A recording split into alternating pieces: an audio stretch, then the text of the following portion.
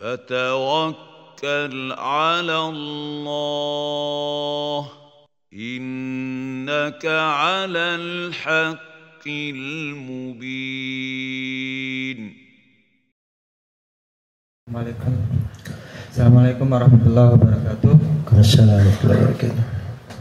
Sebelumnya saya mau bertanya Ustaz, bagaimana hukumnya ketika kita dipimpin oleh seorang perempuan?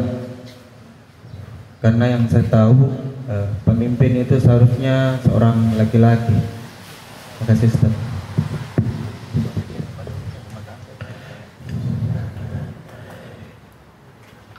Rasulullah Sallallahu Alaihi Wasallam bersabda dalam hadis Abu Bakr riwayat Al Bukhari,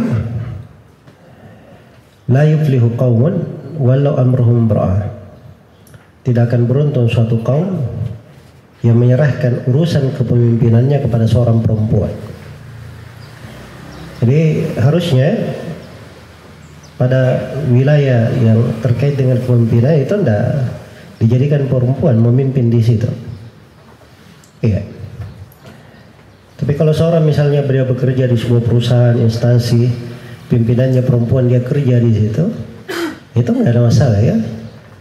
Itu tidak terkait dengan masalah halalnya pekerjaannya, itu tidak terkait dengan kekeliruan yang terjadi dengan orang yang memasang perempuan sebagai pemimpin atau memang pemimpinnya adalah seorang perempuan. Jelas ya?